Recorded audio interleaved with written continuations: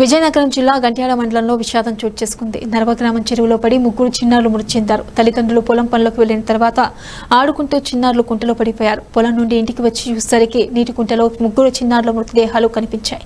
ఈ దుర్ఘటనతో కుటుంబ సభ్యులు శోక సముద్రంలో మునిగిపోయారు. మృతి చెందిన చిన్నారులు మనోజ్ శేఖర్ రొంగల వాసులుగా గుర్తించిన స్థానికులు ఈ ఘటనపై పోలీసులు కేసు నమోదు చేసి దర్యాప్తు చేస్తున్నారు.